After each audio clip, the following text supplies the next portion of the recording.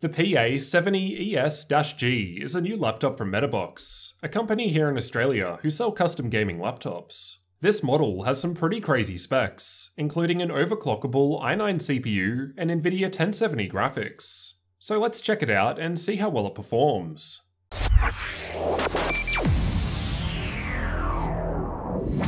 Metabox are using the popular Clevo chassis here, which gives us a fair amount of customization when ordering. So I'll start with the specs in my unit and also briefly mention other available options. Starting with the CPU, you can pick either the i7-8750H or the i9-8950HK. And I've got the i9 CPU here, which basically just has faster clock speeds and can be overclocked.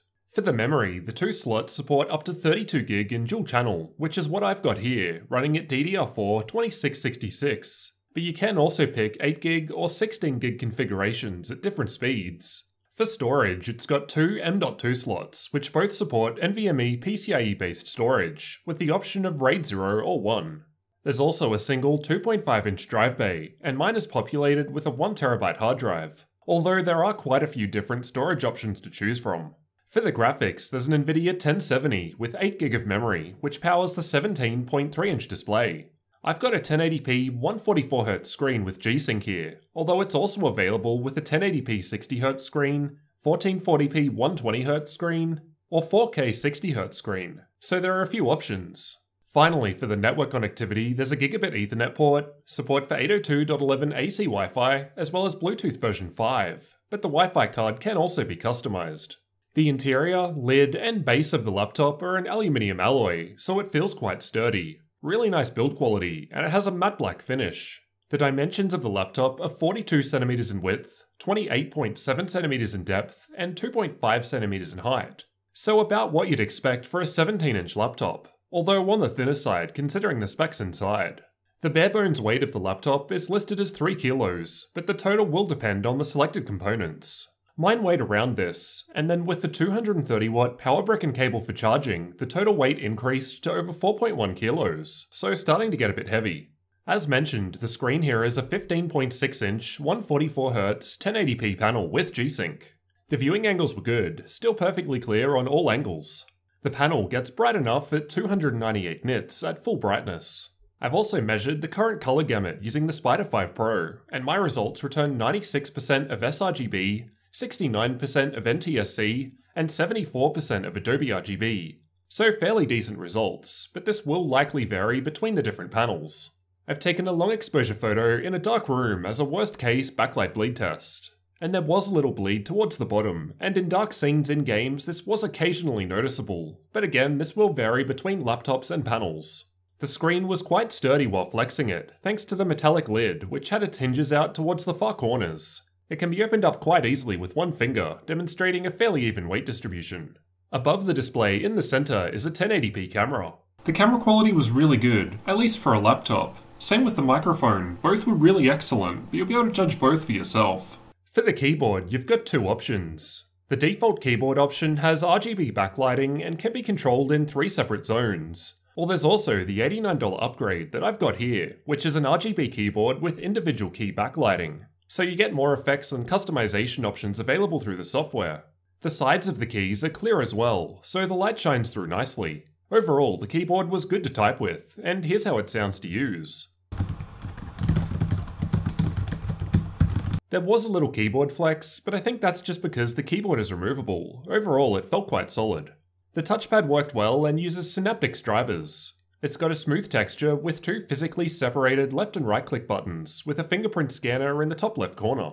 Moving on to the I.O., on the left, just after the air exhaust vent, there's the power input, HDMI 2.0 output, two mini DisplayPort 1.3 outputs, a USB 3.1 Gen 2 Type-C port with Thunderbolt 3 support, and two USB 3.1 Gen 1 Type-A ports. On the right, there are 3.5mm headphone, microphone, and SPDIF jacks, SD slot, two more USB 3.1 Gen 1 Type A ports, and gigabit Ethernet port, followed by Kensington lock. So there's a fair bit of I.O. available. The front just has some status LEDs towards the left hand side, while the back just has some air vents. Up on the lid, there's the Metabox logo in white in the center. Fingerprints show up fairly easily on both the lid and matte interior, although as a smooth surface, I had no problems with cleaning. Underneath, there's heaps of vents for air intake and the subwoofer, as well as some rubber feet that did a pretty good job of preventing it from sliding around while in use. The bottom panel can be removed by using a Phillips head screwdriver, and inside we get access to the Wi-Fi card, battery, two M.2 slots, two memory slots, and single 2.5 inch drive bay. The two speakers are found just below the screen. They sounded pretty good for a laptop, although I expected more bass from the subwoofer underneath. As a result of the speaker placement under the screen, you can still clearly hear them with the lid closed. Powering the laptop is a 4-cell 66 watt hour battery, and with a full charge and just watching YouTube videos with the screen on half brightness, keyboard lighting off, and background apps disabled, I was able to use it for 3 hours and 58 minutes. That was with the Intel integrated graphics in use, and you can't use G-Sync with this enabled. To make use of G-Sync, you need to swap it over from MS Hybrid to Discrete in the control panel or through the BIOS, which requires a reboot. Doing so will however mean that the Nvidia 1070 graphics are always in use, so the battery will drain faster outside of gaming. And in the exact same test, the battery lasted about an hour and a half less. While playing The Witcher 3 with medium settings and Nvidia's battery boost set to 30 FPS, the battery lasted for 56 minutes, and was able to sustain 30 FPS the entire time. Some others I've tested aren't able to do that and drop frame rate on battery. Overall, the battery life seemed alright, considering the high powered specs.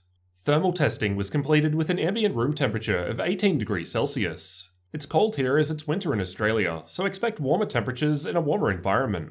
It's also worth keeping in mind that as the CPU and GPU share heat pipes, a change in one component may affect the other. At idle, shown by the light blue bar at the bottom of the graph, it was actually running fairly cool. Moving up into the gaming results, shown by the green bar, the temperatures rise a fair bit while playing Watch Dogs 2 with high settings. Once the fans are maxed out in yellow, the temperatures drop back a bit though, with a minus 0.150 volt undervolt applied to the CPU and all CPU cores overclocked, we start hitting thermal throttling, shown by the red bar. The stress tests were completed by running AIDA64 and the Heaven benchmark at the same time, in order to try and fully utilize both the processor and graphics. The dark red and pink bars gave the same results, because under this test the fans had already maxed out by leaving them set to automatic. When the CPU is undervolted, shown by the purple bar, the temperatures drop a little and performance increases, as we'll see in the next graph. And then with the CPU power limit boosted in dark blue, thermal throttling was again reached. These are the average clock speeds while running the same tests for the temperatures just shown. In the gaming results, the CPU clock speed rises quite a bit with the undervolt applied, shown in red. In the stress test, with the undervolt applied in purple, the performance increases by around 400 MHz, and then a little more once we boost the power limit up from the default 45 TDP limit. Although still not able to reach the full 4.3 GHz all-core turbo speed of the i9 in this worst case scenario due to thermal throttling. These are the clock speeds I got while just running CPU only stress tests, without any GPU load. At stock, it was power limit throttling, as shown in the blue bar. With a minus 0.150 volt undervolt applied, the clock speeds rose, as shown in the green bar. But there was still power limit throttling at the default 45 watt TDP. The power limit of the i9 CPU could be raised though. I just set it to 100 watts so it wouldn't be an issue. And as shown in the yellow bar, we're now capped at the default 4.3 GHz all-core turbo speed of the i9 CPU.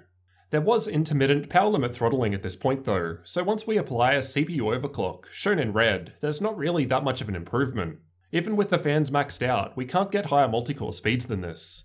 This was nice to see. Many other gaming laptops with the lower i7 CPU can't even reach the full 3.9 GHz turbo boost speed of that chip. So although we can't do any serious overclocking here due to the thermal limitations, I think this is still a pretty good result for a 6-core laptop compared to many others I've tested. Here are some Cinebench CPU benchmarks to outline what we've just seen. Just for comparison, I've got a reference i7 8750H down the bottom. At stock, the i9 wasn't quite performing as well in multi-core performance due to the power limit throttling, so you'll probably want to make some tweaks although single core performance is higher than the i7 as it can actually hit the highest single core clock speeds no problem. With some undervolting and boosting the power limit though, we can actually get a nice boost in performance. Although as just discussed, overclocking under a full multi-core workload doesn't really improve things further due to thermal throttling. But the single core speeds do see improvement here, which may be beneficial in some tasks such as gaming. These are the average clock speeds of the 1070 graphics under a graphical stress test. With a 175 MHz overclock applied, shown by the green bar, the average rose quite a bit, and we'll see how this affected gaming performance soon. As for the external temperatures, where you'll actually be putting your hands, at idle the keyboard area is in the high 20s, fairly standard. While gaming it rose into the mid 40s, again fairly typical, and not too much of a difference with the stress tests running. A little cooler as the fans were going faster now. As for the fan noise produced by the laptop, I'll let you have a listen to some of these tests.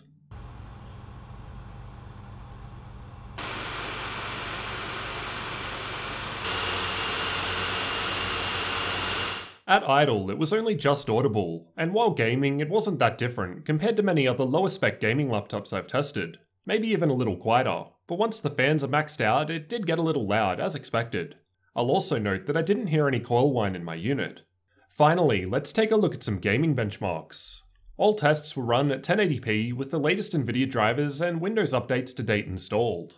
Fortnite was running quite well at all setting levels. Even at Epic, it was averaging above 100 FPS and played quite smoothly, and the frame rates increased significantly at lower settings. Overwatch was tested playing with the bots, and again, really good results at epic settings. Even the 1% lows are close to the 144Hz refresh rate of the display, so it always felt super smooth while playing. PUBG was tested using the replay feature, and it ran pretty well at all settings. I'd personally stick to high or below for the best experience though. CSGO was tested using the Ulletical benchmark, and even at max settings, the frame rates in this specific test are quite high for a laptop. Far Cry 5 was tested with the built-in benchmark, and the results in this test are pretty nice. Above 60 FPS for the 1% lows at Ultra, so it should play pretty nicely. Assassin's Creed Origins was also tested with the built-in benchmark, and as a more resource-intensive test, the results here are again pretty good for a laptop. Dota 2 was tested using a fairly intensive replay, so this should be a worst case scenario. These results are not the same as playing the actual game. This benchmark is more intensive than typical gameplay, so expect even higher frame rates in actual gameplay. Rainbow Six Siege was tested with the built-in benchmark, and the average frame rates were quite high regardless of setting levels. Even the 1% lows are fairly high, so it should run pretty nicely. Ghost Recon is a fairly resource intensive game, and even with the good specs here, ultra settings aren't giving great results, but pretty nice frame rates at all other setting levels.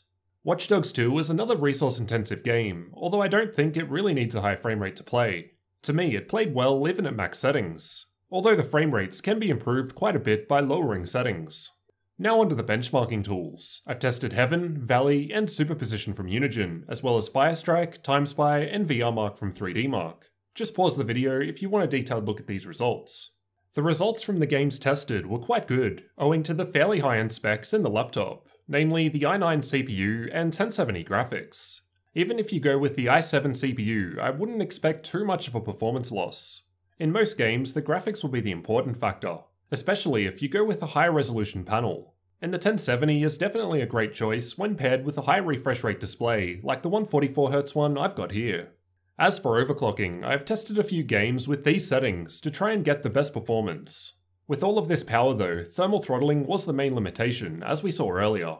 PUBG was tested with the same replay, and at ultra settings there was an 18% improvement to the average frame rates, pretty decent. Far Cry 5 was tested with the built-in benchmark, and at ultra settings there was a smaller 5% improvement to the average frame rates. Ghost Recon was also tested with the built-in benchmark, and at ultra settings there was a large 18% improvement to the average frame rates, although this seems to be lower at other levels, just a 4% boost at low settings. Rainbow Six Siege was again tested with the built-in benchmark, and we're actually seeing lower 1% low results at all setting levels, but an improvement to the averages, just a 4% improvement at ultra. With CPU undervolting, GPU, and CPU overclocking, there were some pretty nice improvements, although it depends on the particular game. In the ones I tested, there was quite a bit of variance, which I suspect may have been due to occasional thermal throttling, making things inconsistent.